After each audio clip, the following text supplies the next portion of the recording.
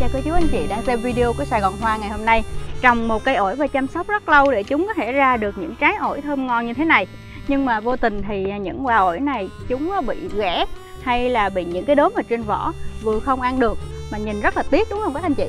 Ngày hôm nay thì Sương sẽ chia sẻ cho các anh chị là cây ổi chúng ta bị ghẻ như vậy. Nguyên nhân là tại sao và cách để chúng ta khắc phục là như thế nào Để cho cây ổi phát triển khỏe mạnh, ra trái thật sai và thật là nhiều trái ngon ngọt nha. Anh chị hãy cùng theo dõi video ngày hôm nay.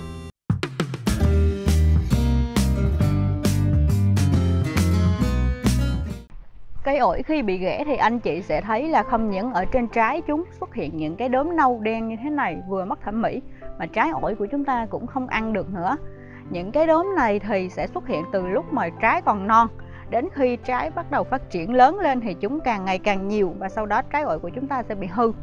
Ngoài ra thì ở trên ngọn ổi vẫn có xuất hiện những đốm ghẻ khi mà những cái đốm này càng ngày càng lớn, phát triển kích thước lớn thì ngọn ổi của các anh chị sẽ bị đen, khô và chúng ngừng phát triển. Còn lá thì sẽ xuất hiện ở mặt dưới lá trước.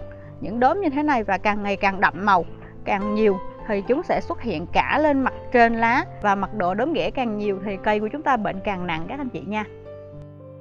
Và nguyên nhân của bệnh ghẻ ở trên cây ổi thì sẽ có hai nguyên nhân. Thứ nhất là nguyên nhân do nấm bệnh phát sinh thì vào mùa mưa nếu như mà vườn của các anh chị không thông thoáng.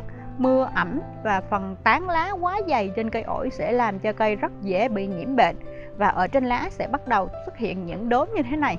Chúng sẽ xuất hiện ở phần lá bánh tẻ và lá non trước, sau đó thì sẽ lan dần xuống lá già và trái.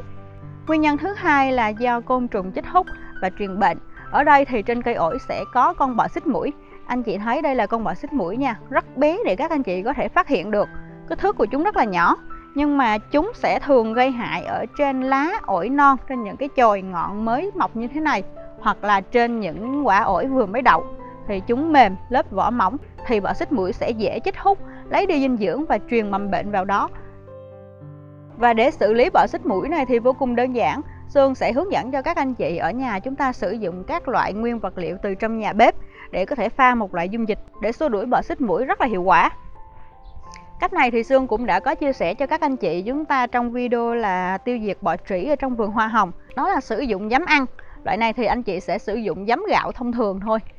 Với một lít nước, anh chị sẽ pha tầm 2 đến 3 muỗng giấm. Và các loại côn trùng gây hại thì ngoài chúng ghép mùi giấm ra, chúng còn cực kỳ khó chịu với mùi tỏi.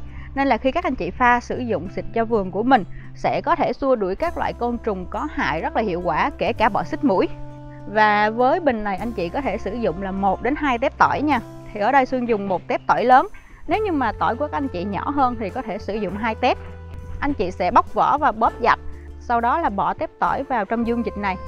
Hoặc là anh chị có thể dùng chày giả nhuyễn tép tỏi này ra, nhưng mà không nên cắt lát nha. Nếu như mà anh chị cắt lát hoặc là băm nhỏ thì lượng tinh dầu ở trong tỏi tiết ra ít hơn. Còn khi chúng ta làm dập cái tép tỏi này thì tinh dầu tiết ra nhiều. Chúng ta pha vào dung dịch thì sẽ hiệu quả hơn và sau đó chúng ta sẽ dùng cái dung dịch này xịt cho cả vườn của mình. Có thể xịt ở những cây xung quanh nữa để có thể xua đuổi côn trùng trong toàn bộ vườn của chúng ta.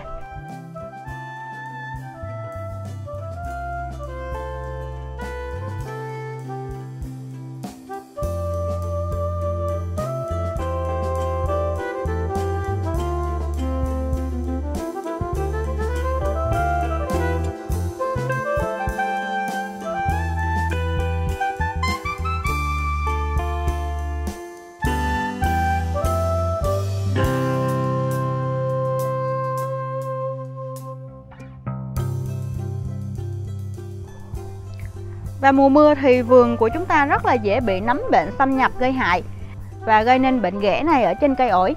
Anh chị có thể pha thuốc xịt phòng trước mùa mưa để có thể hạn chế nấm bệnh phát sinh và lây lan trong vườn của mình. Anh chị sẽ pha theo liều lượng hướng dẫn ở trên bao bì.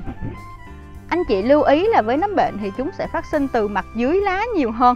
Phát sinh trước sau đó sẽ lây lan lên mặt trên, sau đó là các chồi và ngọn non. Vậy nên chúng ta sẽ phun kỹ ở mặt dưới lá nhiều hơn.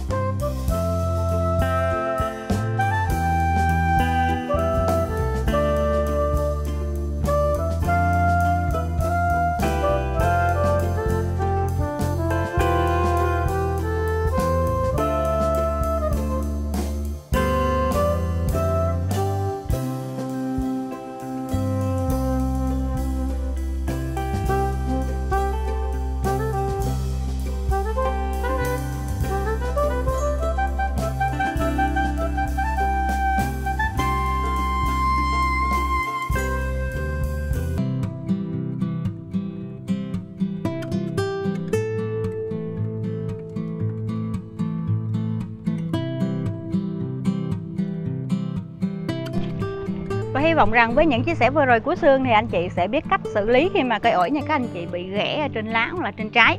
Và cây ổi của các anh chị sẽ cho được thật nhiều quả thơm ngon nha. Chào và hẹn gặp lại anh chị ở những video lần sau.